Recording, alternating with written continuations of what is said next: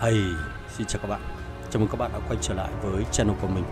Trong video clip ngày hôm nay thì chúng ta sẽ cùng tìm hiểu qua một loại nguyên liệu mới sẽ xuất hiện ở trong bản đồ Chrome.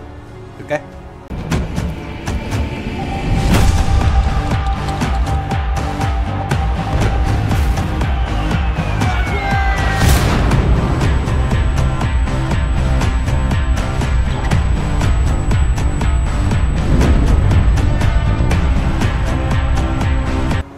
Giờ thì cái nguyên liệu mới này nó có tên là Kalium và bạn có thể kiếm được nó thông qua một cái công trình mới có tên là Kalium Refinery, tức là nhà máy sản xuất ra cái Kalium này. Và khi các bạn tham gia vào MOS à vào Chrome, nó sẽ xuất hiện ở trong cái phần xây dựng này. Và nhiệm vụ của các bạn là phải xây dựng nó ngay khi các bạn tham gia vào mặt trận này. Nó giống như công trình dầu sa mạc ở trên Cairo thì cái công trình này nó sẽ cho, có thể cho các bạn cái lượng, sản lượng kalium theo thời gian. Đây là một trong số những nguyên liệu mới xuất hiện ở trong bản đồ Rome để chúng ta có thể nâng cấp các chiếc máy bay của chúng ta. Ở cấp độ level 32 thì cái công trình này cho chúng ta 1280 điểm trên 1 giờ và tối đa chúng ta có thể nhận được 30.000 ờ, hơn 30.000 điểm ờ, trên một ờ, điểm tích lũy. Ok thì cái điểm kalium này cái uh, phần tài nguyên này chúng ta có thể dùng làm gì? Các bạn cũng có thể dùng để nâng cấp các chiếc máy bay của mình. Các chiếc máy bay này khi mà ban đầu các bạn tham gia vào trong Rome nó sẽ cho chúng ta lựa chọn xem là bạn cần lựa chọn máy bay nào.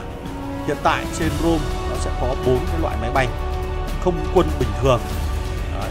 hoặc là chiếc máy bay Laneret chiếc Vortex hoặc là Whisper Wind mỗi một đơn vị này nó sẽ có đặc trưng và các kỹ năng khác nhau.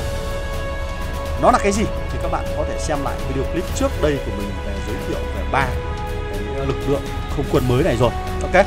Thế thì như mình đang lựa chọn một đơn vị tiêm kích của nga, thì nhiệm vụ của các bạn sẽ phải là tiết kiệm các kalium để đổi sang điểm Omen point ta có thể sử dụng cái điểm Omen point này để nâng cấp đơn không quân của mình đây như ở đây các bạn cần 25.000 điểm uh, helium để đổi lấy được một cái Omen point ok thì khi mà chúng ta có Omen point đầy đủ các bạn có thể cộng vào các chỉ số các kỹ năng và các ô cộng thêm này để tăng cường sức mạnh cho các đơn vị không quân của mình okay. ngoài việc là nâng cấp công trình Kalium thì các bạn cũng có thể sở hữu nó thông qua việc tham gia các event ở trên uh, Rome.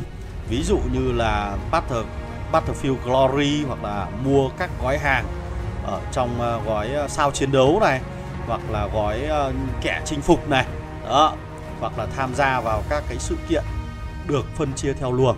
Đấy, ví dụ như cái phần này à, các gói hàng này. Ok à, rồi là gói sao chiến đấu này nó cũng cho các bạn kelium cái này nó cũng giống như dầu sa mạc ở trên uh, ở trên uh, Cairo nhỉ? Đấy, hoặc là các bạn cũng có thể kiếm được cái Kalium này thông qua cái nhiệm vụ Conquest nhiệm vụ chinh phục này này. Nó cũng sẽ cho các bạn cái phần phần điểm này phần tài nguyên này. Ok đó. Ngoài ra là chúng ta sẽ cần phải tiêu tốn bằng tiền bạc à, và cái tài nguyên này nó sẽ được dùng để nâng cấp các cái chiếc máy bay ở phần này. Và chiếc máy bay này nó sẽ có khả năng uh, tấn công và nó mạnh mẽ hơn khi các bạn tham gia vào vào trong uh, chiến trường này. À, ví dụ như mình đang sở hữu một đơn vị không quân uh, có nâng cấp Kalium và đơn vị không quân này thì chúng ta sẽ được sử dụng để chiến đấu nhiều hơn ở trên chiến trường. Và ngoài ra nhớ là tham gia cái phần uh, vùng chiến đấu Raven Command này nó sẽ cho cái điểm Alien Point Reboot rất là nhiều nhé. Thì uh, các danh tiếng của các liên minh có được là nhờ việc chiếm hữu các công trình này. Và nếu như liên minh liên minh nào mà có chiếm được càng nhiều thì họ càng có được nhiều điểm Alien Point. Và từ Alien Point này thì chúng ta có thể đổi sang Alien Reboot để cạnh tranh cái thứ hạng một top 1 của bảng xếp hạng danh tiếng nó sẽ được nhiều hơn. Ok? Thì cái vùng này nó sẽ luôn phiên mở sau mỗi 70 giờ là nó sẽ mở ra. Đấy, và để cho các liên minh cạnh tranh với nhau và chiếm điểm. Đấy. và trong cái vùng này chúng ta chỉ có thể sử dụng được lực lượng không quân vào trong này thôi. Cho nên các liên minh cần sẽ cần phải hẹn giờ nhau và tập hợp đủ lực lượng không quân để chiến đấu với các lực lượng không quân của Hắc Quạ nó rất là mạnh các bạn ạ nhé cho nên là chúng ta cần phải có hiệp đồng tác chiến để đánh chiếm từng công trình một và cuối cùng là đánh chiếm cái tòa trung tâm này để sở hữu ở cái phần kiểm soát cái vùng này. Ok, rồi, video clip của mình giới thiệu về một phần tài nguyên mới là Kalium xin được tạm dừng tại đây. Hẹn gặp lại anh em ở trong các video clip khác liên quan đến bản đồ Rome nhé. Còn bây giờ, xin chào và hẹn gặp lại. Goodbye.